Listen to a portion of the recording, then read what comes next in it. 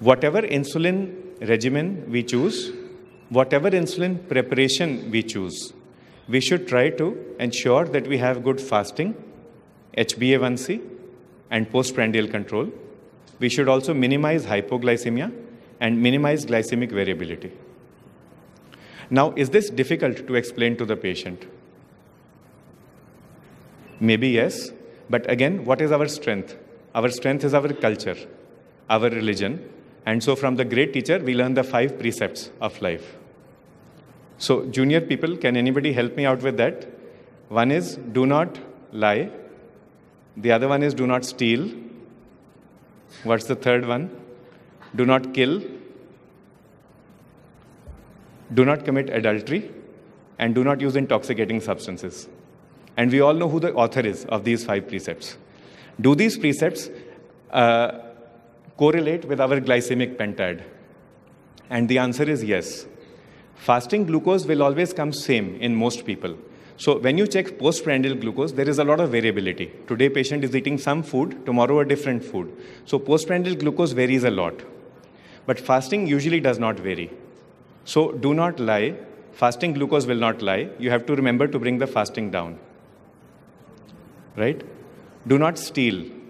Now, stealing, of course, you can think in terms of stealing money or material, but when a person is stealing food to eat, so if there is a person who has diabetes, he should not be eating sugar, he should not be eating fat when he's trying to steal that sugar or fat without telling his children or without telling his spouse. That is a form of stealing.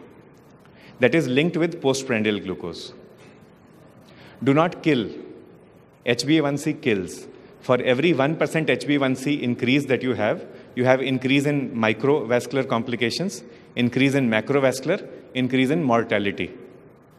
So if Lord Buddha said, do not kill to me for another person, if I am a doctor and if I believe in God, I should not kill my patients. I have to bring the HbA1c down.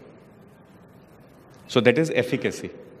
But the fourth one, uh, what about uh, hypoglycemia and glycemic variability? How do these connect with the five precepts? So what I look at is glycemic variability is a very polygamous kind of a graph. If you have people with high and low sugars all over. So what God tells us is to be monogamous, no variability. So that is another precept. Do not commit adultery. Another way of looking at it is many of our patients commit what is called medical adultery.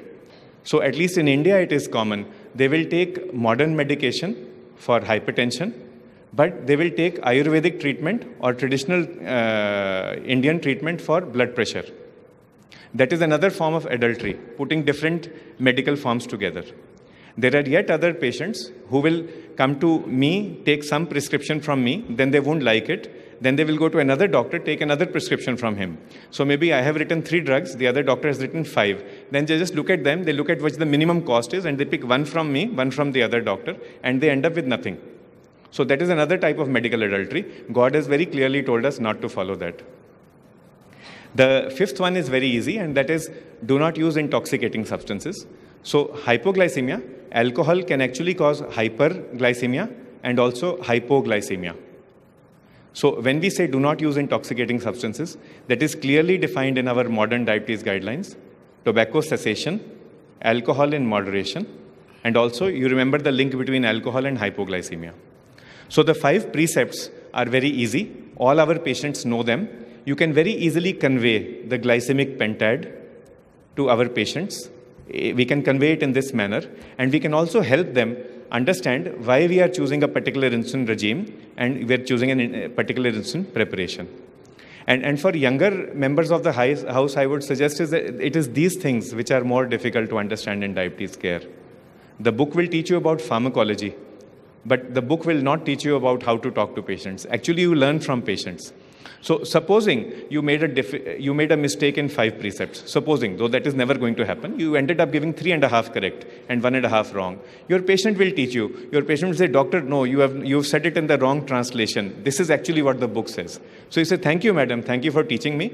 It will help me become a be- better doctor for my next patient." And so there's an ongoing journey. Zifam, caring for well-being.